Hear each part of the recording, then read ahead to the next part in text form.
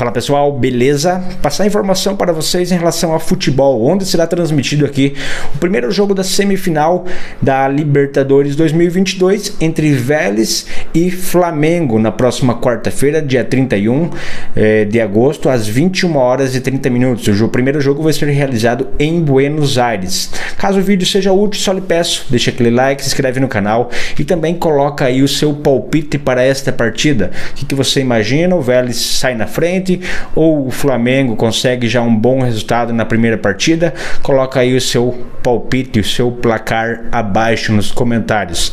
Questão de transmissão, como é quarta-feira, né? É, a Libertadores ela é transmitida pelo SBT e ela normalmente passa aí na terça e vai ser dessa forma que vai ser o jogo entre Atlético Paranaense e Palmeiras. Então, para acompanhar o jogo de Vélez e Flamengo, somente na TV fechada, e é ESPN e também na opção ali Star Mais, que é um streaming. Você pode, pelo que estava dando uma olhada ali, assinatura na faixa de 32 a 55, depende as opções aí, tá?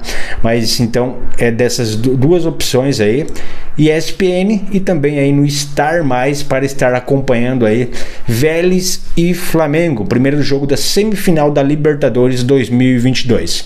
Então é isso, vídeo rápido, objetivo. Deixa o like, seu palpite aí abaixo. Valeu, até a próxima.